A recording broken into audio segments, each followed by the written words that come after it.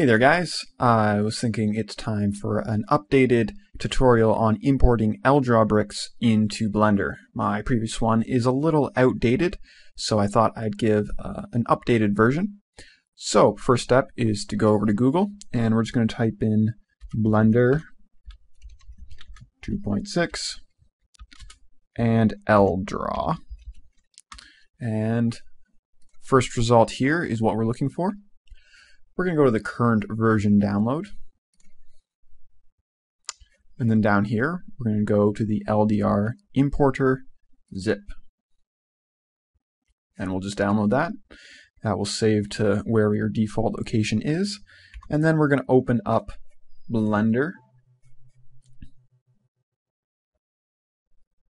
So we're in Blender. Now where we want to go to is uh, File user preferences, and then uh, in our add-on section, make sure you're in the add-on section, we're going to go to install from file, and then wherever you downloaded your that LDraw importer script, uh, we're just going to select the zip, and we're going to say install from file, and then it should pop up like this. We're going to click the checkbox, and we're going to go and say save users settings.